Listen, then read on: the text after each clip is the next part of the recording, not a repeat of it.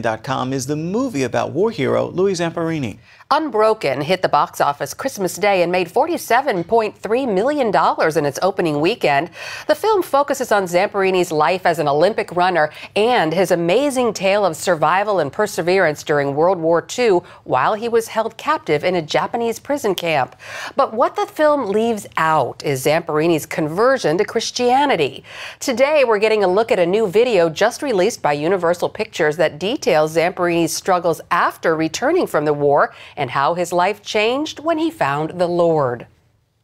One night, he was strangling the bird in his dreams, and he woke up and found that he was strangling my mother. That was the turning point. She thought, This is it, I've had enough, it's time for divorce.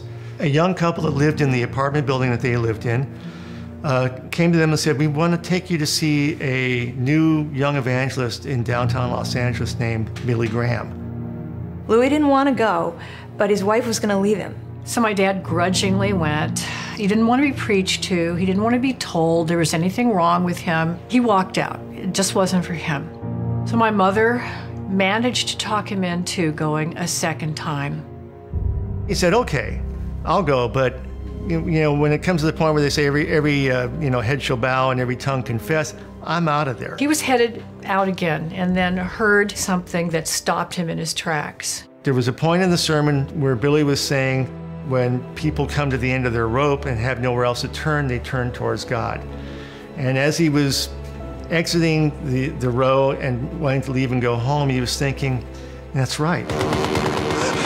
Everything he went through in his entire life brought him to that moment.